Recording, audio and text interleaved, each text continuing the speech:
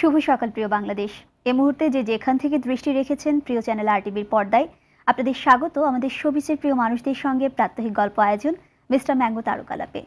দর্শক, মানুষের মেধা এবং ভাবনা এ দুটির কারণেই মানুষ অন্য সব প্রাণীর চেয়ে একেবারেই আলাদা। আর তাই মানুষ যেমন তার কর্তব্য সম্পর্কে জানে জানে তার অধিকার সম্পর্কেও। অথচ সেই মানুষই আবার কালে কালে, যুগে যুগে মানুষের শত্রু হয়ে ওঠে। ভূখণ্ড আর সম্পদের অধিকার প্রতিষ্ঠায় চলে অন্যায়, অবিচার, যুদ্ধ, হানাহানি, রক্তক্ষয়ী সংঘাত। এই সংঘাতের বিপরীতে দাঁড়িয়ে সাম্য আর মৈত্রীর বন্ধন গড়তে, শোষণ আর বঞ্চনামুক্ত স্বস্তিময় পৃথিবী গড়তে যে মাধ্যমটি সবার আগে এগিয়ে আসে, তা হচ্ছে সংস্কৃতি। আমাদের সন্দেহাতীত ভাবেই যে কোনো দেশের সংস্কৃতি একটি শক্তিশালী মাধ্যম। বাংলাদেশের সংস্কৃতি এবং নাট্যাঙ্গনে যে কজন মানুষ এ কাজটি করে যাচ্ছেন, তাদের মধ্যে অন্যতম জন নাট্য ব্যক্তিত্ব প্রিয়জন ঝুনা চৌধুরী ঝুনা ভাই। ভাইয়া শুভ সকাল স্বাগত কেমন আছেন? ভালো শুভ সকাল। শুভ সকাল। এবং ভাই আপনারা যখন ভালো থাকেন না তখন মনে হয় না একটা স্বস্তির নিঃশ্বাস ফেলা যায়। তার কারণ হচ্ছে যে যদি বলি যে সংস্কৃতি কিন্তু যে কোনো দেশের ধারক বাহক বলব এবং রিপ্রেজেন্ট করে একটা দেশকে।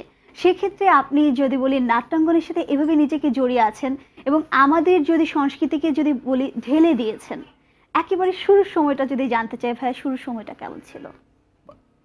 বাংলাদেশের নাট্যাঙ্গনে নিশ্চয়ই। শুরুর সময়টা তো মুক্তিযুদ্ধ থেকে ফিরে ফিরে আসা কিছু মুক্তিযোদ্ধা যেমন আছে ইউসুফ মজুমদার মামুনুর রশিদ আলী জাকের।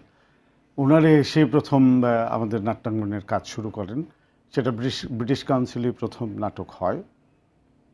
যেটাকে আমরা গ্রুপ থিয়েটারের একটা আন্দোলনের শুরুটা বলতে পারি আর কি।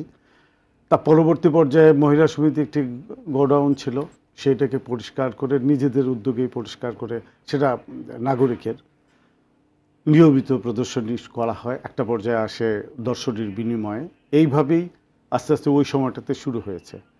তো ওই সময়টাতে কিন্তু ঘাত প্রতিঘাত অনেক বেশি পঁচাত্তরে বঙ্গবন্ধু তারপরে সামরিক শাসন আসা।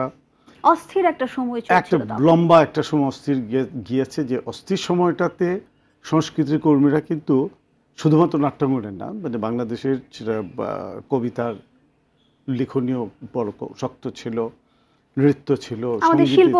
হ্যাঁ সব জায়গাগুলোতেই কিন্তু ওই প্রতিবাদী বিষয়টি ছিল। মেনে নিতে পারেনি এই অস মানে স্বাধীনতার পরপরই এই ধরনের সামরিক শাসন কিংবা বঙ্গবন্ধুকে হত্যা করে ফেলাটা সেটা নব্বই পর্যন্ত কেউ একভাবে গেছে। প্রতিবাদের মধ্য দিয়েই রাজপথের মধ্য দিয়েই আর তখন আমাদের পথনাটকটা আরও বেশি করে শুরু হয়, কারণ তখন সফদার হাসমি ভারতের, উনি পথনাটকে একটা বিপ্লব ঘটান ওই অঞ্চলে, সেটারই একটি মানে আমরা ওইটারই ছায়া নিয়ে আমাদের দেশে আন্দোলনটা শুরু হয় পথনাটকের সেই পথনাটকের আন্দোলন, মা মঞ্চের আন্দোলন আর্থ সংস্কৃতি বিভিন্ন অঙ্গের আন্দোলনের পরে কিন্তু নব্বই আমরা ঠিকই সংস্কৃতি কর্মীরা মূল শোকচালিত শক্তিটা ছিল তখন এই সামরিক স্বৈরজান্তাকে সরানোর। তো তখন যেটি হয়েছে আমাদের অনেক নাট্যকার অনেক নাটকের দল অনেক শিল্পী নির্দেশক তৈরি হয়েছে। আর আমাদের যারা পূর্ব মানে যারা এই প্ল্যাটফর্মটি তৈরি করেছেন ওনারা কিন্তু স্বশিক্ষায় শিক্ষিত বলা যায়। কারণ ভারতে হয়তো বা কিছু দেখেছেন কিছু কি সেই সত্তরের সময়। তা ওনারা নিজেরা তাদের স্বশিক্ষায় খুব ভালো ভালো কাজ করেছেন বলেই কিন্তু পরবর্তী প্রজন্ম ওই ধারাতেই গিয়েছে শুধু নাটক ভালো না যে একটা পর্যায়ে এমনও হয়েছে এখনও যেটা খুব সাংঘাতিকভাবে আমরা শক্তি দিয়ে বলি যে একটি ছেলে বা মেয়ে যদি সংস্কৃতির সাথে সম্পৃক্ত থাকে তাহলে কোনোভাবে সে খারাপ হতে পারে না। সে কখনো বিপদগামী হবে না। বিপদগামী কখনো হওয়ার কোনো সম্ভাবনাই নাই কারণ যে জিনিসটা আমরা প্রতিটি রিহার্সেলেই তার কাছ থেকে আদায় করে নিতে হ্যাঁ এই যে বর্তমান সময়ের জন্য কিন্তু এটা খুব উল্লেখযোগ্য বলব যে একদম যুগোপযোগী একটা কথা কিন্তু যে আসলে সংস্কৃতি চর্চার সাথে জড়ানো যে কতটা মানুষের প্রত্যেকটা মানুষের আসলে দরকার। এবং ইতিহাস থেকে যদি আমরা দেখি ভাইয়া সেখানে কিন্তু অনেক সংস্কৃতি কর্মী নাট্যকর্মী আপনি বলছিলেন সৃষ্টি হয়েছে। বর্তমান সময়ের চিত্র ভাই আমরা আপনার কাছে জানার আছে এবং বর্তমান সময়টা নিয়ে প্রেক্ষাপট নিয়েও জানব। তবে ভাই একটা বিরতির সময় হয়ে গিয়েছে পারমিশন চাইছি. দর্শক, মিস্টার ম্যাঙ্গো তারকালাপে আজ সঙ্গে রয়েছেন বাংলাদেশের নাট্য এবং সাংস্কৃতিক আন্দোলনের পথযাত্রী, সমাজ বিবর্তনের এবং বিনির্মাণের হাতিয়ার হিসেবে খ্যাত নাট্য আন্দোলনের মানুষ, প্রিয়জন নাট্যজন ঝুনা চৌধুরী। এই গল্প আরও বেশ খানিকটা সময় চলবে, তবে অল্প সময় বিরতির পর সঙ্গেই থাকবেন।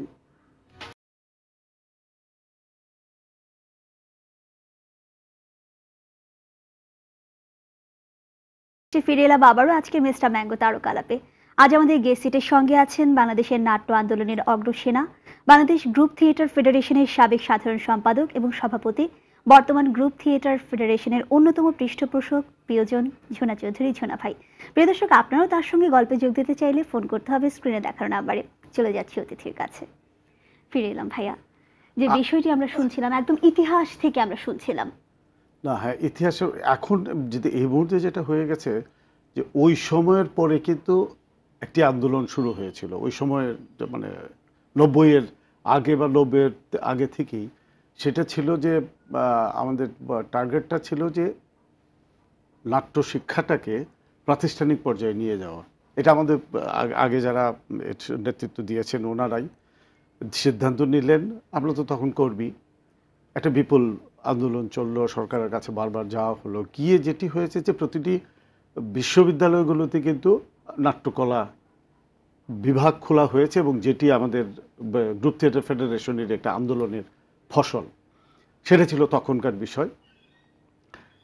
এটা আমরা সরকারকে বোঝাতে পেরেছি, আমরা জনগণকে বোঝাতে পেরেছিলাম, দর্শকদেরকে বোঝাতে পেরেছিলাম বা অভিভাবকদেরকে বোঝাতে পেরেছিলাম বলেই কিন্তু আজকে স্বাধীনতার পর থেকে, আজকে এই চল্লিশ পঁয়তাল্লিশ বছর ধরে এখন পর্যন্ত থিয়েটার কিন্তু তার নিজস্ব শক্তিতেই চলছে। কোনো, ওই ধরনের কোনো পৃষ্ঠপোষকতা নেই। একটি সময় শুরু হয়েছিল, বা নাট্য দলগুলোকে, তাও বেছে বেছে কিছু দলগুলোকে পাঁচ হাজার, ছয় হাজার টাকা বৎসরিকভাবে একটি দেওয়া হতো। এইগুলো দিয়ে, এগুলো সব কিছুরই আন্দোলনের ফসল আর বর্তমান একটি সংস্কৃতি বান্ধব সরকার যেহেতু আমরা বলি, সেই সরকারের একটি সুবিধা দিয়েছেন যেটি এখন দলগুলোকে সেই টাকাটাই বাড়িয়ে এখন চল্লিশ থেকে পঞ্চাশ হাজার, সেটা বছরে একটি, একবার। তাতে করে দেখা যাচ্ছে আমাদের একটি নাটক করতে, এখন একটি নাটক করতে কম করে হলো আড়াই লাখ টাকা থেকে তিন লাখ টাকা লাগে। রিহার্সেল রিহার্সেল রুম আর প্রতিটি জিনিসের এখন ভাড়া। আগে তো কোথাও এখানে সেখানে রিহার্সেল করার যেতে এখন হচ্ছে না। যেখানে রিহার্সেল করে ভাড়া দিয়ে করতে হয়। কস্টিউম সেট লাইট সব। ইভেন কি হ্যাঁ আর ইভেন কি যারা এখন এগুলোতে কাজ করছেন তাদেরকেও আমরা চেষ্টা করি কিছু পয়সা দিতে। আমাদেরই লোকজন লাইট ডিজাইন করছেন আমাদের লোক সেট ডিজাইন করছে কস্টিউম ডিজাইন করছে সব আমাদের নিজেদের লোকই। কিন্তু তারপর আমরা এদেরকে আলাদা একটা রিমোনারেশন দিতে চেষ্টা করি কারণ ওরা এই কাজটি করছে। কিছুই নাই তারপরে এর মধ্যে একটা আবেগ। মূলত বাংলাদেশের সংস্কৃতি চর্চাটা এখন পর্যন্ত আমি সঙ্গীতটাকে ধরছি না। ওদের একটা আলাদা জগৎ ভালো জগৎ হয়ে গেছে। কিন্তু এসব নৃত্য আবৃত্তি নাটক সব জায়গাটাই কিন্তু এখনও আবেগের জায়গা থেকেই কাজ করছে। একটা কমিটমেন্টের জায়গা থেকে কাজ করছে।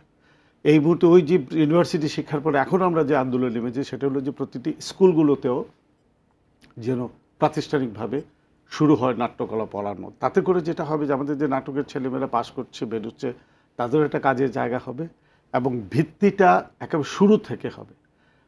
আমরা যেটা হচ্ছে কি যে আমাদের সন্তানদেরকে আমরা কিন্তু ক্লাসে ফার্স্ট করার জন্য কোচিং, বাসায় পড়া, মা একেবারে গলত ঘর্ম হয়ে যাচ্ছে জন্য শুধু তার ছেলেটাকে বা মেয়েটাকে ভালো স্কুলে দিয়ে ভালো পড়াশোনা করিয়ে এক নম্বর করার জন্য।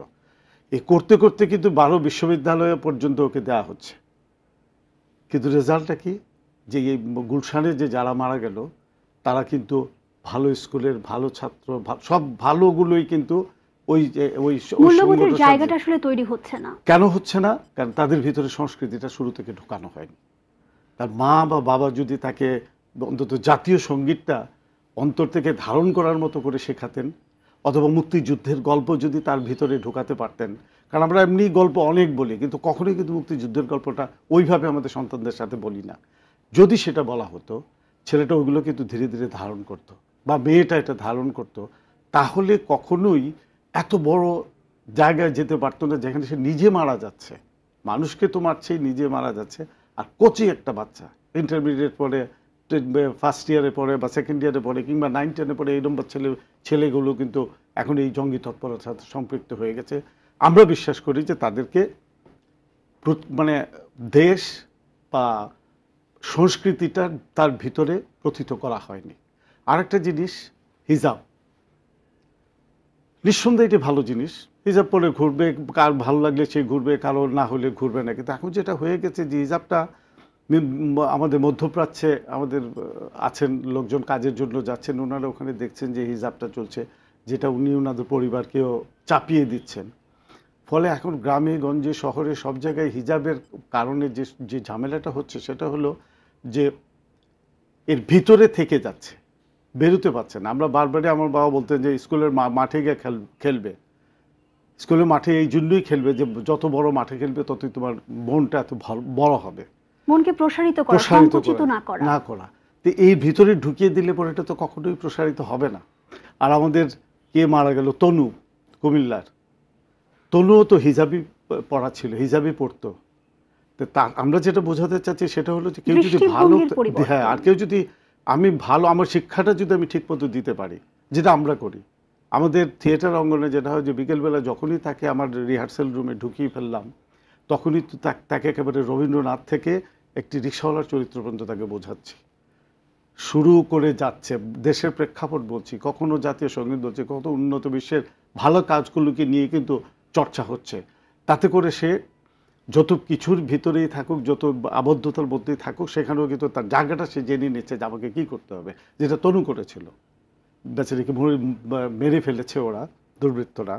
কিন্তু এই এই কারণে আমি বলি যে এইসব কুসংস্কারের জায়গা থেকে যদি আমরা একটু না সরে আসি তাহলে কিন্তু ওই ব্রাহ্মণবাড়িয়ার ঘটনা ঘটবে, হবিগঞ্জের ঘটনা ঘটবে, আবার মারবে, আবার একটাই কথা আমরা আমাদের যারা অন্য ধর্মের, হিন্দু ধর্মের যারা আছে তাদেরকে একটা কথাই বলি যে অনেকেই ফেসবুকে স্ট্যাটাস দিয়ে থাকেন যে বে- বেহায়ার মতো এদেশে পড়ে আছে বলেই আমাদের এই অবস্থা হচ্ছে। কোথায় পড়ে আছেন? এটা তো আমার জায়গায় আমার জায়গায় আমি পড়েছি। আমার যেরকম অধিকার আছে একজন মুসলমানের, একজন খ্রিস্টানের ঠিক তেমনি অধিকার আছে যে হিন্দু সম্প্রদায়ের যে আছে তারও কিন্তু সাম্প্রদায়িকতা তো ঘুরে দাঁড়াতে আমাদের হবে। ছিল না। আমরা অসাম্প্রদায়িক দেশ। তো ঘুরে দাঁড়াতে হবে এবং সেই যদি একবার ঘুরে দাঁড়ায় তাহলে কিন্তু সবাই তাকে সহযোগিতা করবে। ব্রাহ্মণবাড়িয়ার ঘটনা এক ভদ্রলোক এক ভদ্রমহিলা বলছিলেন যে ঘরে আগুন লেগেছে ওনারা বুঝতে পারেননি ঘুমে। পাশের এক মুসলিম পরিবারে ওরা আসে চিৎকার দিয়ে ডেকে ওদেরকে বের করেছে। তো তার মানে একটি চিৎকারে কিন্তু চলে আসবে। অনেক সময় ভয় পাবে। তো এই জিনিসগুলোকে যদি থামাতে হয় সংস্কৃতি ছাড়া কোনো বিকল্প নেই আমরা বিশ্বাস করি। আর সেটা প্রতিটি শিশুর অন্তরে সুন্দর করে এগিয়ে দিতে হবে একদম ছোটোবেলা থেকে। সেই জন্যই বিদ্যালয়গুলো থেকে আমরা বারবার বলছি যে বিদ্যালয়গুলোতে আপনারা সংস্কৃতি শিক্ষাটাকে নিয়ে আসুন। সেখানে আসলে শিক্ষা ব্যবস্থার কি পরিবর্তনের কোনো দরকার আছে? অবশ্যই আছে। শিক্ষা ব্যবস্থা পরিশ্রম কারণ এমনিতেই আমরা তো তিনটা ভাগে বিভক্ত। একটি ইংলিশ মিডিয়াম একটি বাংলা মিডিয়াম একটি আরবি মিডিয়াম মাদ্রাসা বা কিসের শিক্ষা চলছে। তো তিনটি ধারার মানুষ একসাথে চলা আমি ব্যক্তিগতভাবে মনে করি সম্ভব না। কোথাও কোথাও গিয়ে কনফ্লিক্টটা হবেই। শিক্ষার মানের জায়গাটা এদিক সেদিক হবে। শিক্ষাটা একটি ব্যবস্থার ভিতরেই সবাইকে থাকতে হবে। যেমন আমরা জানি মাদ্রাসাগুলোতে বাংলা ইংরেজি পড়ানোই হতো না একটা সময়। জাতীয় সংগীত তো প্রশ্নই ওঠে না। ইংলিশ মিডিয়াম স্কুল স্কুলগুলোতে একসময় জাতীয় সংগীত গাওয়া হতো না ছিলই না এবং খুব প্রাউডলি দেখা যায় প্যারেন্টসদের বলতে শোনা যায় যে আমার ছেলে মেয়ে তো বাংলাই ভালো করে ভালো বলতে পারে না। তো সেইটাকে তো ফেরাতে হবে। এখন এই সরকারের পদক্ষেপ নেওয়াতে যে জিনিসটা হচ্ছে যে ওই জাতীয় সঙ্গীতটা বাড়ছে। আমাদের এটা জাতীয় ক্রীড়া অনুষ্ঠান জাতীয় কি অনুষ্ঠান আমরা যখন ছোট ছিলাম তখন আমাদের স্কুলগুলোতে বাৎসরিক একটি মিলাদ হতো বাৎসরিক খেলা হতো বাৎসরিক নাটক হতো। স্পষ্ট মনে আছে নাটক হতো বাৎসরিক। যেটার কারণে যে আমরা ওই সময় থেকে সংস্কৃতির সাথে সম্পৃক্ত বা একটা ভালো লাগা, যার ভালো লাগা সে ওখানে গিয়েছে, যার খেলা খেলতে ভালো লাগে সেখানে গিয়েছে। সেইটা তো বন্ধ হয়েই গিয়েছিল একদম। আবার ক্রীড়া টিড়া দিয়ে আস্তে আস্তে শুরু হয়েছে। এবং এই শুরু হওয়াটা অবশ্যই একটা ভালো জিনিস এবং এটাকে চাপ বন্ধ, আমাদের দেশে অনেক শুরু হয় ভালো কিন্তু এরপর নার্সিংটা হয় না। খুব সুন্দর একটি ব্রিজ তৈরি করা হলো, বাবা। কোন সুন্দর একটি রাস্তা তৈরি করা হয়। কিন্তু তারপরে এটার রক্ষণাবেক্ষণ একদম করা হয় না। সেই বিষয়টা আসতে চাচ্ছিলাম ভাইয়া যে এই যে বলছিলেন যে এই যে নাট্য আন্দোলন দিনের পর দিন যে আপনাদের প্রচেষ্টা সেইখানে বলব যে সেই জায়গাটাই কিন্তু বর্তমান সময়ে আসলে একজন কর্মী হিসেবে এরকম আন্দোলনে জড়ানোর স্পৃহাটা কেমন দেখেন এই প্রজন্মের মধ্যে? এটা তো প্রমাণ করে দিয়েছে জনতার মঞ্চ যে একটি প্রজন্ম তোমাকে বধিবেছে গোকুলে বাড়িছে সে ঠিক কিন্তু জনতার মঞ্চ এই জেনারেশন জানিয়ে দিয়েছে যে আমরা জাগ্রত। আমাদের থিয়েটার অঙ্গনটা কিন্তু ঠিক সেরকমই। এই মুহূর্তে যারা মঞ্চে, আমি দশ পনেরোটি নাটকের নাম বলতে পারব প্রত্যেকটির নির্দেশক কিন্তু এই প্রজন্মের ছেলেমেয়ে।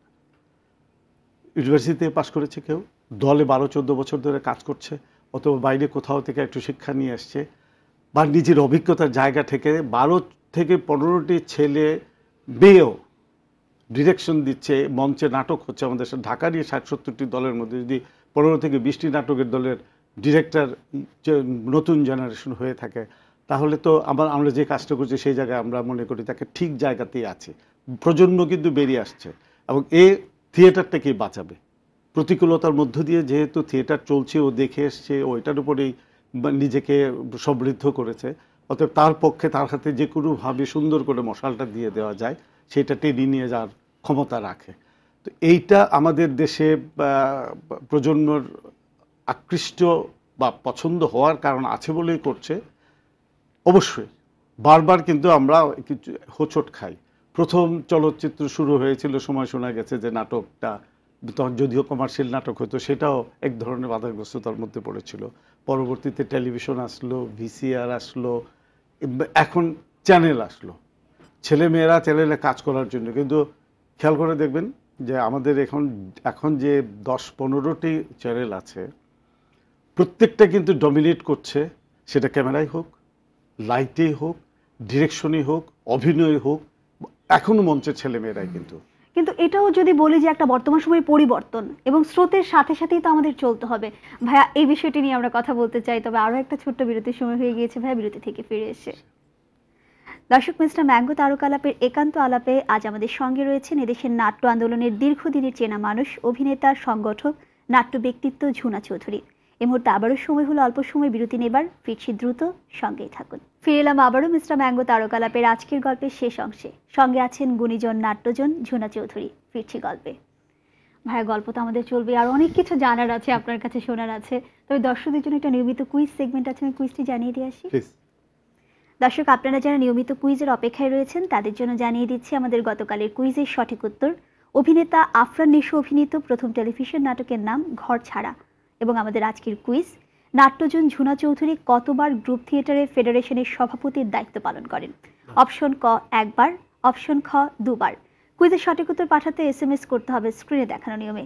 সঠিক উত্তর সর্বাধিক সংখ্যক এস এম এস প্রেরণকারী বিজয়ী পাবেন মোবাইল ফোনে আকর্ষণ অঙ্কের রিচার্জ একটু কারেকশন লাগবে। আচ্ছা। সভাপতি নয় সেক্রেটারি জেনারেল সেক্রেটারি জেনারেল আচ্ছা তাহলে দর্শকদের জন্য জানা হয়ে গেল বিষয়টি ভাইয়া। এবারে একটু ভাইয়া আমরা জানতে চাই যে আমাদের গতকালের কুইজ বিজয়ীর নাম ভাইয়া। আপনি আমাদের নামটি যদি পড়ে শোনাতেন। জামাল।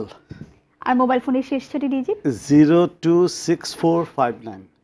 Jamal অনেক অনেক অভিনন্দন আপনাকে। আপনার মোবাইলে কিন্তু পৌঁছে যাচ্ছে আকর্ষণীয় অঙ্কের রিচার্জ সেই সাথে এরকম গুণী মানুষ যখন আপনার নাম পড়ে শোনালো নিশ্চয় অনেক ভালো লাগা কাজ করছে। ভালো থাকবেন, শুভকামনা থাকল আপনার জন্য। ফিরে এলাম ভাইয়া। বিরতির আগে যে প্রসঙ্গে ছিলেন, যে বিষয়টি আপনি তুলছিলেন, যে এই যে অনেকগুলো চ্যানেল আমাদের হয়েছে সেই অনুপাতে ভাই আমার একটা প্রশ্ন আসে এখানে, যে চ্যানেল অনুযায়ী যে আমাদের যে নাটকের যে একটা দৃঢ় অবস্থান ছিল, সেভাবে কি আমরা ভালো মানের নাটক পাচ্ছি? বা আমাদের কাজের মান আসলে কেমন হচ্ছে? না, আসলে হয়ে গেছে যে চ্যানেল হঠাৎ করে আমাদের অনেকগুলো হয়ে গেছে, যে কারণে তার পিছনের মানুষগুলো যারা তৈরি করবেন, অভিজ্ঞ লোকজন কম। যার ফলে সবগুলোই ভালো হচ্ছে, এটা কখনোই বলা যাবে না। আবার এটাও সত্যি যে সবসময় সব কাজ ভালো হয় না। একটি ডিরেক্টরের পাঁচটি নাটকের মধ্যে দুটি হয়তো বা খারাপ পাওয়া যায়। খারাপ বলব না, বলব যে একটু ওগুলোর থেকে একটু মান কম। এগুলো হয় কিন্তু। তবে যে যতগুলো চ্যানেল এখন আমাদের আমাদের হয়েছে সেই তুলনায় কিন্তু ওই ওই বড় নম্বর, ধরনের নম্বর দেওয়াটা একটু কষ্টকর হয়ে যায়। কয়েকটি চ্যানেলে খুব ভালো ভালো কাজ হয়। বেছে কাজ করেন এবং বোঝাই যায় যে কর্তৃপক্ষ এ ব্যাপারে সজাগ। যে কারণে উনি ভালো জিনিসটি নিয়ে, নিচ্ছেন ওনার কাছ থেকে। যে ডিরেক্টর কাজ করছে, তার কাছে ভালো কাজটি নিচ্ছেন। আর কিছু কিছু জায়গায় খুব উদাসীনতা। আর আমি তো একজন সংগঠক। এটা পরিচয় এখন এই মুহূর্তে সবচেয়ে বড় পরিচয় হয়ে গেছে আমার এবং আমার ভালো লাগে এটাও সত্যি। কিন্তু পাশাপাশি আমি তো একজন শিল্পী।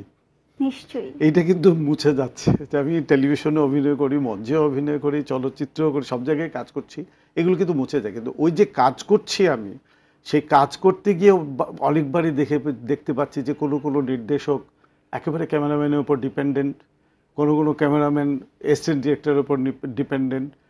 এটা তো হওয়ার কথা নাকি ডিরেক্টর তো ডিরেক্টর মতো কাজ করবে। আর এখানে সব কিছুর মূল্যে যেটা, সেটা আমাদের নাটক যেরকম, মঞ্চ নাটক আমরা আমাদের কষ্ট করে চালিয়ে যাচ্ছি, সরকারকে এগিয়ে আসা, ঠিক তেমনি ডিরেক্টরদের জন্য যা কারোর কাছ থেকে নাটক কেনার আগে, তার টাকার অঙ্কটাও বাড়িয়ে দেওয়া দরকার। তা হলে পারে না।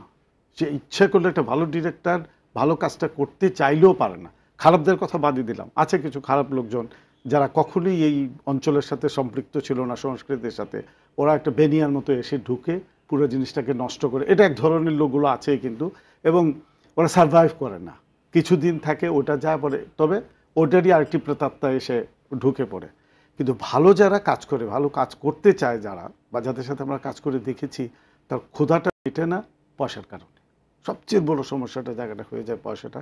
সে এখন তো এমন এটাই কি মূল কারণ যে অভিজ্ঞ লোকজন আসছে না বা তৈরি হচ্ছে না নতুন করে? এখান থেকে পাচ্ছে না তো। সে তো তার মানে তো তার মঞ্চে কাজ করা একই কথা। মঞ্চে কাজ করলে কোনো পয়সা পায় না সে। পারিশ্রমিক পাচ্ছে না। অন্তরটাকে জড়িয়ে নিতে পারছে।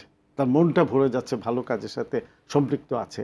তো টেলিভিশনেও যদি তাকে কোনো পয়সা পেল না ভালো একটা কাজ করতে গেল তাহলে তার কাছে তো বেটার মনে হবে যে আমি মঞ্চেই থাকি। সেখানে ভাই শুরুতে আপনি বলছিলেন যে আমরা যারা কাজ করি তারা কমিটমেন্টের জায়গা থেকেও কাজ করি। সেখানে কি এই জায়গাটা কি তাদের এই দায়িত্বটা আসে না যে না টেলিভিশনে আমার কেন কমিটমেন্টের জায়গাটা আসবে? আমার তো জায়গা মঞ্চ আছেই। আমার তো আবৃত্তির জায়গা আছেই। আমার তো নৃত্যের জায়গা আছে মঞ্চ আছে। আমি সরাসরি দর্শকের সাথে এবং প্রতিদিন একটি নাটকে যখন আমরা অভিনয় করি প্রতিদিন কিন্তু একটি নতুন অভিনয় হয়। কারণ এটা তো ফিতায় বাঁধা না। কালকের মুড আমার, আজকের মুড একরকম না। কালকে যে অভিনয়টা করেছে, আজকে এর চেয়ে অন্যরকম অভিনয় হবে। নতুন দর্শক। আমাদের যে কেমিস্ট্রিটা হচ্ছে, সেটাও অন্যরকম। কিন্তু টেলিভিশন বা মঞ্চ, চলচ্চিত্রে তো এটা ফিতায় বাধা পড়ে গেলে একই জিনিস বারবার দেখা যাবে। তো সেইটা, সেইটাই যদি আমাকে করতে হয়, তাহলে এখান থেকে আমাকে অর্থ পেতে হবে, আমার সংসার চলতে হবে, আমি একটু ভালোভাবে বাঁচতে হবে। সেইটাই যদি যখন কোনো নির্দেশক, কোনো প্রযোজকই বলি বা কোনো কলাকুশলীরা না পায় তাহলে ভালো কাজ কেমনে আসবে?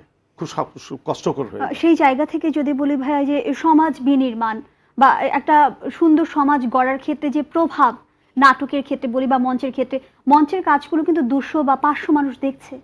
টেলিভিশনে কিন্তু লাখ লাখ কোটি কোটি দর্শক ছাড়িয়ে যাচ্ছে। সেখানে কিন্তু প্রভাবটা সবচেয়ে বেশি টেলিভিশন দিয়ে পড়ছে। সেখানে দায়িত্বটা আসলে কমিটমেন্টের জায়গাটা থাকা উচিত কিনা? কি? কমিটমেন্ট ছাড়া তো হবে না ভাই। এটার সাথে কোনো মানে এটাকে একপাশে রেখে দিতে হবে পাল্লা তো কমিটমেন্টের জায়গাটা যদি পরিষ্কার না থাকে তাহলে সে কোনো কাজই করতে পারবে না। সেটা আমি কি বলব যে রাস্তায় যদি আমি কখনো রিক্সাও চালাই আমার কমিটমেন্টের জায়গা থাকতে হবে যে আমাকে আমার এথিক্সগুলো কারেক্ট থাকতে হবে। তাহলে হলে তো ঝামেলা হবে আমি কমিটমেন্টের জায়গা যাচ্ছি না। কমিটমেন্টের জায়গাতে শুধু যাচ্ছি না এই জন্যই যে ওই জায়গাটা আমার প্রচণ্ড ভালোবাসার জায়গাটা ছেড়ে আজকে আমার এখানে যারা এই এই অনুষ্ঠানে যারা পিছনে কাজ করছে, মঞ্চ থেকে যারা এসে এখানে কাজ করছে, যারা এখন সময় দিতে পারছে না বলে মঞ্চে আবার যেতে পারছে না যেতেও সন্ধ্যার পরেও এখানে কাজ হয়, সেই ছেলেগুলো বা সেই মেয়েগুলো কিন্তু এখানে এসেও যদি সে আর্থিকভাবে লাভবান না হয়, তো এখানে থাকবে কেন? সেটা অভিনয়ের ক্ষেত্রে হোক, যে কোনো ক্ষেত্রে হোক। তো আমার প্রশ্ন হলো যে অর্থটা কেন আমি বারবার নিয়ে আসছি যে এটা হলো প্রথম তার একটা শান্তির জায়গা। তারপরে সে প্রকৃত শিক্ষিত কিনা, তার পড়াশোনা কতটুক, এই ব্যাপী বিষয়ে। আমি প্রাতিষ্ঠানিক শিক্ষার কথা বলছি না, যে যে কাজটি করছে করতে এসেছে, সেটার প্রতি তার পড়াশোনা কতটুক, সে কতটুক জানে, আর সর্বোপরি তার কমিটমেন্টের জায়গাটাতে সে আছে কিনা। তাহলে ভালো কাজ হবে। এখনও অনেক ভালো কাজ হচ্ছে, আবার অনেক অনেক অনেক মন্দ কাজও হচ্ছে।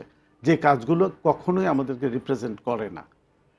আর যে কারণে যেটা হয়ে গেছে আরও সমস্যা হচ্ছে যে সরকারকে এগিয়ে আসতে আমরা এই জন্যই বলছি যে আমি, আমার নাটক, এই কলকাতার নাটক, আমি আমি আমার ভাগ্নে একটা নিউজ কাস্টার ও বলে কি যে আমাকে রাঙ্গু বলে রাখে যে, রাঙ্গু, তোমার আমার অনুষ্ঠান দেখার মতো সময় আমাদের মা খালাদের নাই।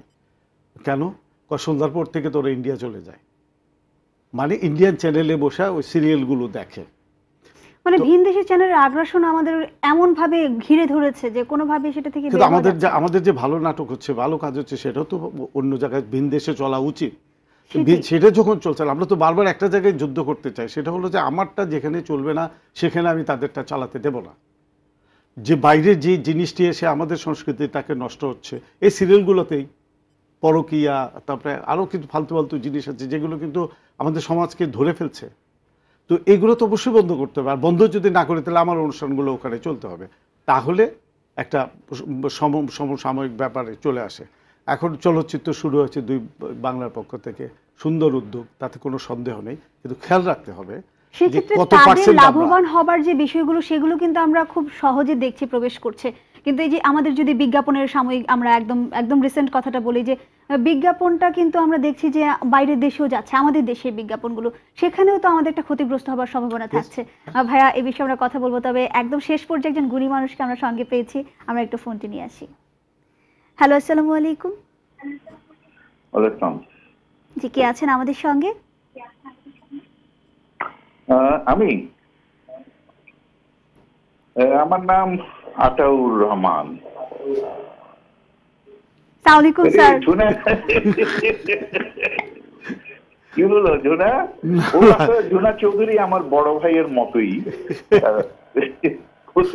ওর নাম তো জোনা চৌধুরী আমাকে সবসময় ম্যাচিউর চৌধুরী বলে আর ওর আমাদের সাথে সম্পর্ক কিন্তু ওর বহু দিনের বহু বহু দিনের আমার মনে হয় গ্রুপ থিয়েটার ফেডারেশনের সৃষ্টিকাল থেকে স্বাধীনতার পরপরই বলা চলে যদি আমরা দুই দল করতাম এখন আমি তো এখন সব দলেরই হয়ে গেছি।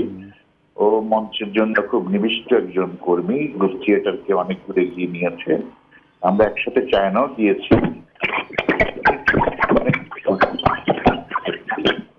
ভালোই লাগছে। ও মঞ্চের মঞ্চে নিবিষ্ট প্রাণ হলো টেলিভিশনে নিয়মিত অভিনয় করছে। এখন মঞ্চের জন্য অনেক কাজ করে যাচ্ছে এবং সে প্রত্যাশা করে আমার সাথে কথা হয়েছে। হয়তো মঞ্চ একদিন পেশাজীবিত্ব অর্জন করতে পারবে সেটি আমাদের প্রত্যাশা। কি বলে ঝোনা তুমি? হ্যাঁ হান্ড্রেড পার্সেন্ট আপনার সব সবার আগে যেটা আপনি ফোন করেছেন এটাই আমি আমার ধন্য। আমাদের কাছে অনেক বড় পাওয়া অনেক ধন্যবাদ। স্যার। আপনি অনেক ভালো থাকবেন এবং আপনার জন্য অনেক অনেক শুভকামনা থাকল।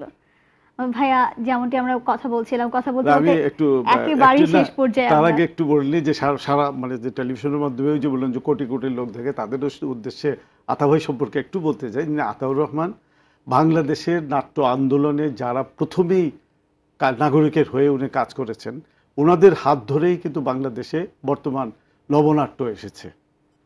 গ্রুপ থিয়েটার ফেডারেশনে এসেছে। গ্রুপ থিয়েটার ফেডারেশন উনি সেক্রেটারিও ছিলেন প্রেসিডেন্টও ছিলেন যোগে যোগে করে আসছেন তো উনি ফোন করেছেন ওনাকে আমি আবারও আমার না সমস্ত দর্শকের পক্ষ থেকে আদাবাইকে শুভেচ্ছা জানাই। সেই সাথে ভাই আপনি আমাদের সময় দিয়েছেন এত ব্যস্ততার মধ্যে অনেক ধন্যবাদ আপনাকে অনেক ভালো থাকবেন ভাইয়া। আর আমি আপনাদের মধ্য দিয়ে মধ্যে আপনাদের দিয়েই দর্শকদেরকে বলতে চাই যেটা সেটা হলো যে একটি কথা পরিষ্কার আপনার সন্তানকে যদি সুন্দরভাবে বা প্রকৃত মানুষ হিসেবে তৈরি করতে চান তাকে প্রাতিষ্ঠানিক শিক্ষার পাশাপাশি অবশ্যই অবশ্যই আমাদের সংস্কৃতি, আমাদের কৃষ্টি, আমাদের ঐতিহ্যর সাথে যে কোনোভাবে তাকে আষ্টে পৃষ্ঠে বাঁধতে হবে। যদি একবার সে বন্ধনে আবদ্ধ হয়, তাহলে দেশকে ভালোবাসবে এবং বাংলাদেশের জন্য আগামীতে সে একটি সুন্দর সময়, সুন্দর যুগের মধ্যে বাংলাদেশটাকে নিয়ে যেতে পারবে।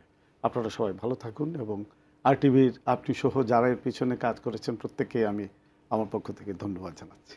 আবারও ধন্যবাদ ভাইয়া। প্রিয় দর্শক এই ছিল আমাদের আজকের আয়োজন। নিশ্চয়ই আপনাদের ভালো লেগেছে।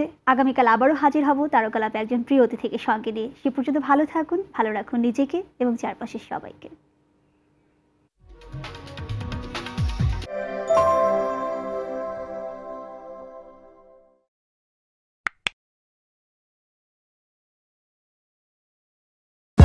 For more updates, the bell icon on YouTube app and never miss another update.